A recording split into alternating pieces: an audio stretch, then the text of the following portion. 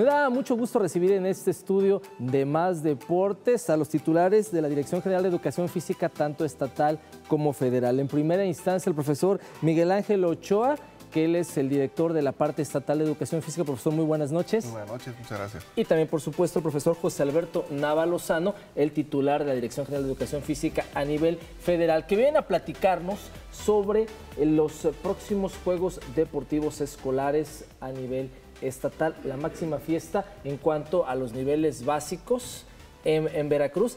Y ya estamos a la vuelta de la esquina prácticamente. El próximo lunes arrancamos actividad. Así es, pues el día 6, este, como tú bien lo mencionas, tenemos la oportunidad de hacer la inauguración y el inicio de los Juegos Deportivos Estatales que pues cubren precisamente el nivel de primaria y secundaria aquí en todo el estado de Veracruz. Que son aproximadamente 2.000 eh, niños y jóvenes, profesor Cruz, que van a estar tomando parte es una cifra importante, sobre todo porque cumplimos con esta parte de estar realizando intensa promoción deportiva.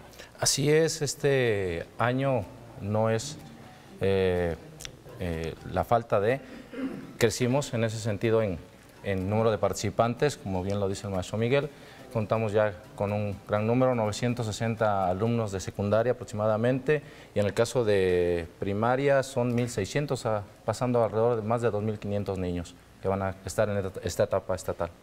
¿Cuántas disciplinas? Y son tres sedes además. Son 10 disciplinas, 10 disciplinas y este año, pues por primera vez salimos de la zona de lo que era Jalapa, tenemos ahorita la zona de Veracruz, Boca del Río, ahí se va a realizar las disciplinas de taekwondo, básquetbol y fútbol, y la zona de Córdoba que va a albergar lo que es el fútbol, perdón, el béisbol y el voleibol de sala. Deportes de conjunto van a estar fuera de Jalapa entonces. Así es, en el caso de Jalapa va a estar albergando lo que es el atletismo en el estadio jalapeño, badminton, tenis de mesa y ajedrez. Y es, eh, profesor Miguel, también una etapa que culmina acá. Sin embargo, un trabajo que se viene haciendo desde el mes de septiembre prácticamente con las etapas intramuros. Así es, pues es que contamos con una estructura tanto en, el área federal como estatal, eh, a, nivel, a nivel estado, donde pues participan desde la etapa de inspección, en la etapa de supervisiones y finalmente llegan los grandes ganadores a la etapa estatal. Cubrimos todas las regiones, norte, centro y sur y pues es la oportunidad, ¿no? Aquí es donde se culmina precisamente la participación de más de 100 mil niños en todas las escuelas alrededor de, todo el estado de Veracruz. Y trabajando de la mano la parte de educación física estatal con la parte eh, federal, siempre buscando empujar y promover cada vez más disciplinas con los menores. Así es, pues es afortunadamente hemos tenido muy buena sinergia aquí con el maestro Nava y con toda la gente de, educación física en general y nosotros estamos pugnando porque esto se note, no nada más en los juegos, sino en el trabajo de educación física en general. Somos una sola educación física para todo el estado de Veracruz. Y es eh, importante también destacar la labor del docente.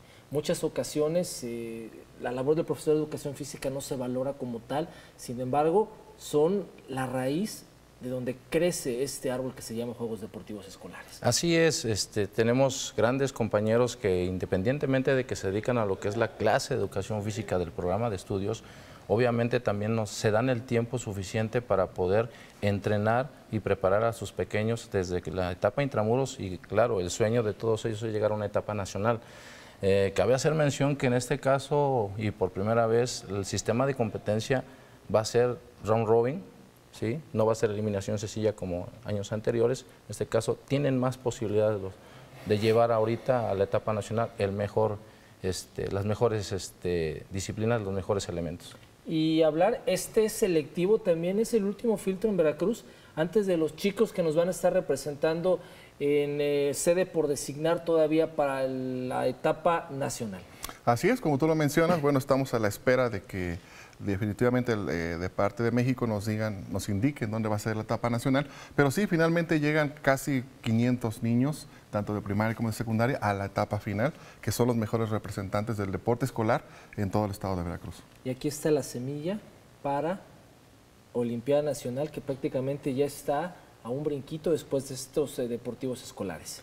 Definitivamente, eso es algo que hay que resaltar. Ahorita que tú mencionabas este, al aire la parte de las justas internacionales, pues parte precisamente desde la etapa escolar, desde las etapas muy, muy, muy tempranas, sobre todo en primaria y secundaria, donde se puede desarrollar eh, la posibilidad de que los niños tengan la apertura a acceder no solamente al deporte de alto rendimiento, sino a la práctica de la actividad física en general, ¿no?